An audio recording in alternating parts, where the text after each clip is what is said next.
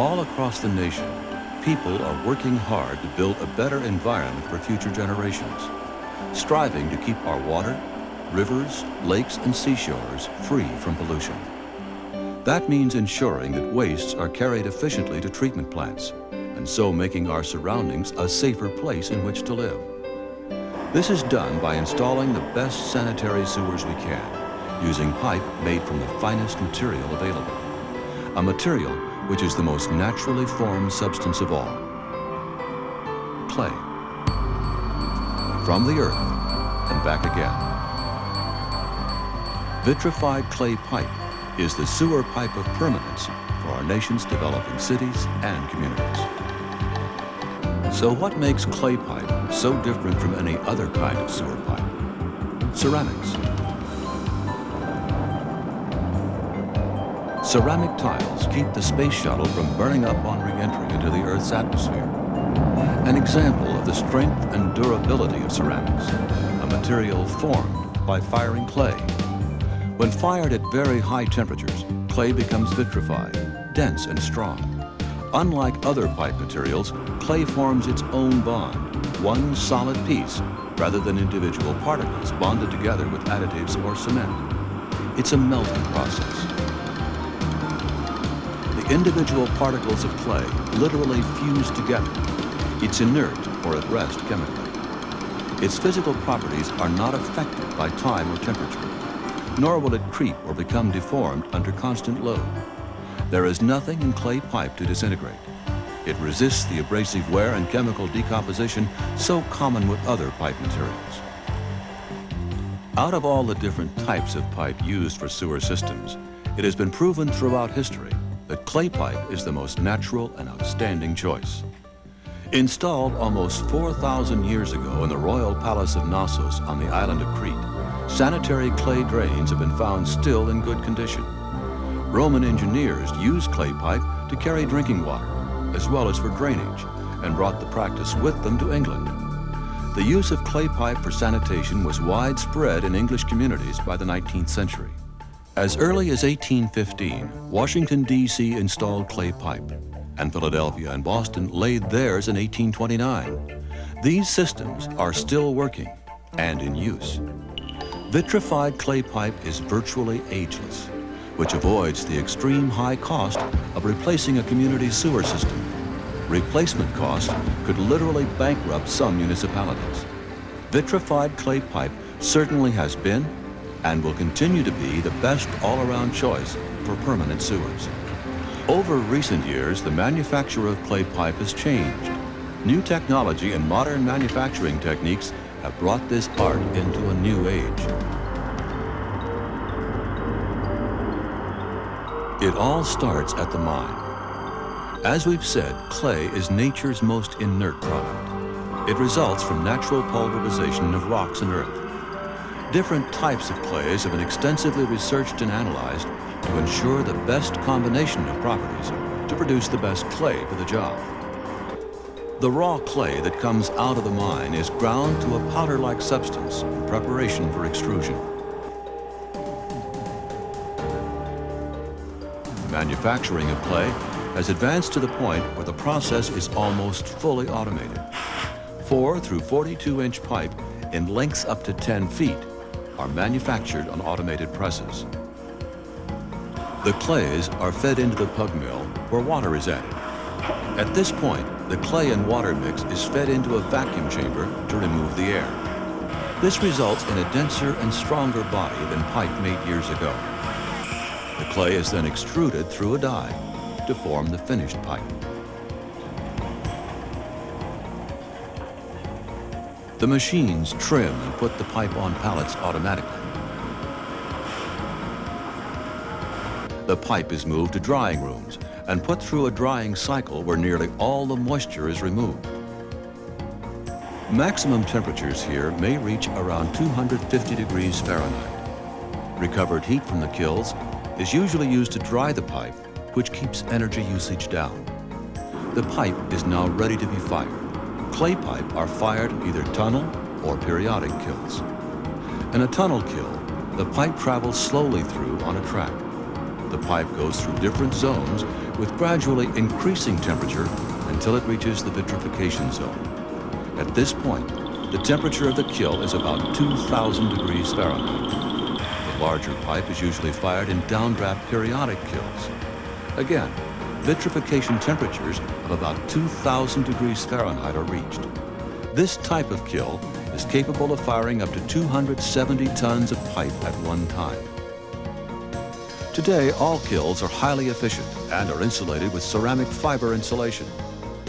Computerized firing schedules enable the manufacturer to produce high-quality products consistently and efficiently.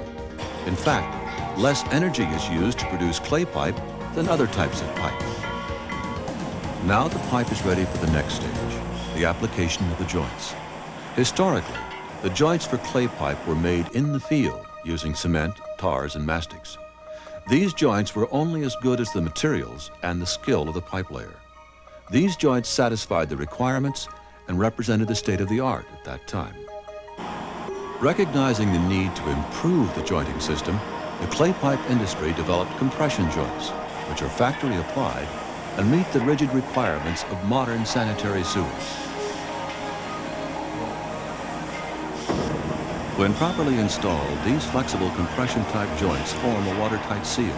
Groundwater cannot seep in, and only sewage is carried to the treatment plant. Compression joints resist contamination of the groundwater and root penetration, and reduce maintenance costs.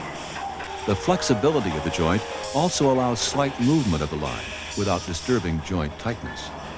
Factory prefabrication reduces labor costs in the field and the joints meet rigid ASTM and other industry standards. The American Society for Testing and Materials issues several standards which apply specifically to clay pipe, some of which cover the performance criteria of the pipe and joining system, and others which address the installation and field acceptance testing of the completed line. Tests which are conducted at the factory include acid resistance, bearing strength, shear load, and joint deflection. Corrosion resistance has long been a hallmark of ceramic materials.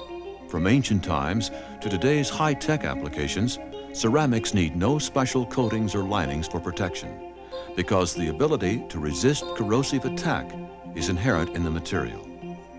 The acid resistance test provides assurance that the pipe will remain durable and domestic, commercial, industrial, and other hostile environments. Since there may be land use changes during the long periods of time that the sewer is expected to function, it is particularly important that a sewer pipe have the ability to transport these kinds of wastes. Unlike water and gas lines, sewer lines go deep to keep the wastewater flowing by gravity to the treatment plant. It takes a strong material to permanently withstand the high earth loads which are encountered. Clay pipe bearing strength provides the basis for the engineer to compute the field supporting strength of the pipe and to determine what type of bedding is required.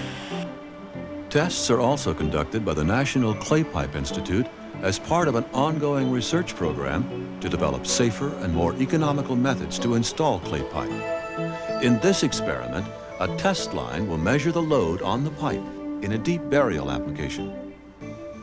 Public agencies have begun to recognize the need to get extended life from their sewer systems. This means setting well-chosen priorities for the limited funds that are available. Governments at all levels must get the best value for their public works investment. Performance and permanence must become prime considerations when decisions are made. The durability of any public facility requires first-rate engineering, top-quality materials, proper installation, and competent inspection. It pays to invest in quality and performance. The true cost of a sewer is the installed cost divided by the number of years of useful life. 20 years won't do it. 50 years isn't enough. We must think of 100 years and more. Public officials, engineers, and developers must ask themselves the fundamental question, if we can't afford to do it right, can we afford to do it again? From those who are doing it right come these testimonials. Project engineer, San Francisco. We're specifying clay pipe because of its resistance to corrosion and erosion on the steep hills where velocities exceed 20 feet per second. City engineer, Victoria, Texas. We recognize that the structural integrity and chemical resistance of vitrified clay made it the best material for the longest possible design life of the sewer. Director of Water and Sewer Utilities, High Point, North Carolina. Over the years, we've fought for quality materials and to make sure that we really know what it costs to own and operate a system. As owners, we've got to insist on performance. City engineer, Ohio. In a perfect world, we probably could have used a number of different pipes in the project, but we have to plan for the long-term safety of the residents. Consultant, Chicago. For over 40 years, I've been involved in the design and installation of thousands of linear feet of clay pipe in hundreds of projects. All projects were successful and are in satisfactory use today. And from the city of Los Angeles, California. Over the past 60 years, the performance of clay pipe has been exceptional, particularly since the development of the compression joints, which are watertight and impervious to root intrusion. There's a long line of municipalities where vitrified clay pipe sewers have served for more than 100 years or more. Properly installed vitrified clay pipe is permanent. It will never have to be replaced. It has a great future with its pure inert qualities, high resistance to chemicals, and the ability to be installed as a permanent trouble-free system. It is a natural for the many environmental challenges ahead. communities are making the right decisions about their environment, ensuring a quality of life for future generations, choosing clay pipe, the most natural product of all, from the earth and back again.